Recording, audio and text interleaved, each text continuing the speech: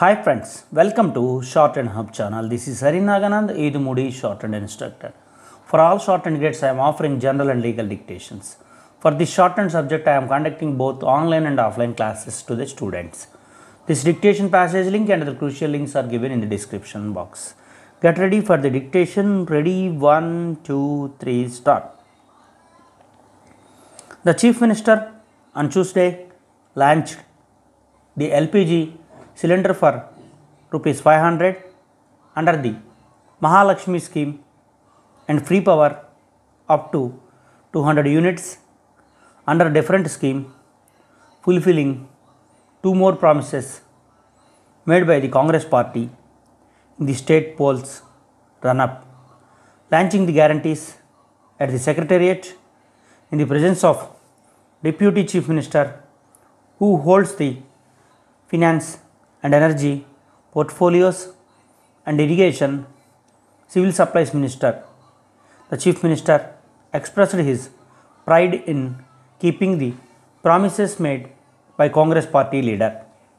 The six guarantees for assembly polls were promised by none other than sonia gandhi the congress pat- patron in chief at the public meeting conducted on september 17 2023 and the Congress government in Telangana state views Sonia's promises which will be implemented in true letter and spirit at any cost come what may he said saying that the people of Telangana state voted the Congress to power as they believed in Congress party the chief minister said.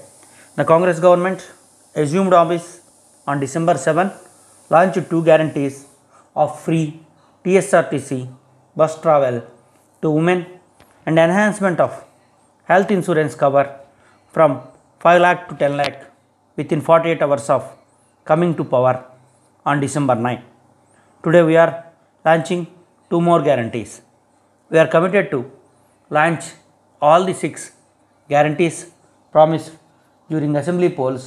The Chief Minister slammed Prime Minister Narendra Modi for increasing the price of LPG cylinders from 400 to 1200 which adversely affected financially poorer families. He also rapped the previous chief minister for the state of Telangana for failing to take steps to decrease the burden on domestic consumers. When the Congress chief was chairperson of Congress led UPA government from 2004 to 2014, she brought the above said scheme to provide LPG gas connections and cylinders to women from the poorer sections for cheaper rates. After Modi became PM in 2014, he allowed a steep hike in cylinder prices, he also said. In Telangana state, the chief minister, who was CM for nearly 10 years, viewed higher cylinder price as a revenue earning source for the government in the form of GST. But the present Congress government came forward to reduce price burden by offering cylinder for just 500, the chief minister said.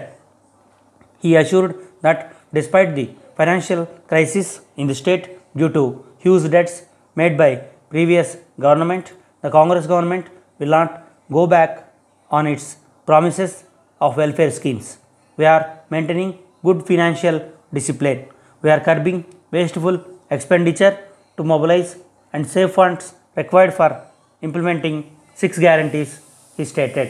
The Chief Minister appealed to the public not to believe the false propaganda of the opposition leaders about the Congress government's ability to implement the six guarantees.